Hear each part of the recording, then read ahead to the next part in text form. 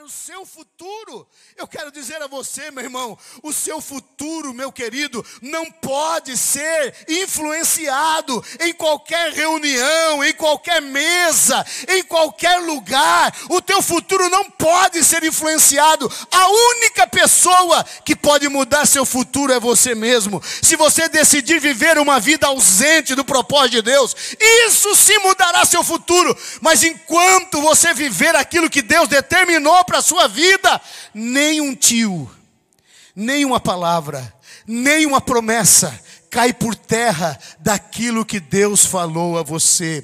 Você e Deus sozinho estão melhor do que qualquer multidão agrupada. Você e Deus sozinho estão melhor do que qualquer ajuntamento de pessoas. Por isso, em nome de Jesus, se o que sobrou para você foi a esperança do futuro e a comunhão com Deus, eu quero bater palma para você e quero dizer, você está melhor do que qualquer pessoa que você possa imaginar. Elias era um homem sozinho, irmãos. Só ele, Deus. Jezabel tinha tudo em seu favor, tinha tudo ao lado dela, mas eu quero dizer a você, Elias e Deus sozinhos, eles estavam em melhor condições do que Jezabel e todo o seu exército. Nessa noite, eu quero encerrar essa mensagem dizendo a você: não deixe de forma nenhuma de imaginar o seu futuro conforme o seu coração cheio do Espírito Santo deseja. A sua vida de comunhão deseja.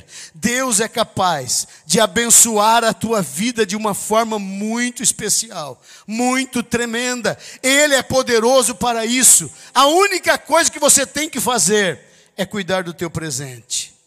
Viva o teu presente, o melhor que você puder para Deus. E eu quero dizer, eu te encontro no futuro eu te encontro no futuro para te dizer: valeu a pena ou não valeu, meu irmão? Valeu a pena ou não valeu ser fiel ao Senhor?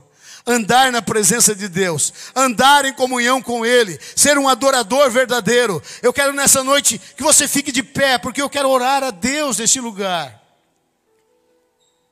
Eu não sei se aqui nessa noite, nesta reunião, aleluia, há pessoas preocupadas, preocupadas com amanhã, perdendo seu descanso, perdendo a sua paz,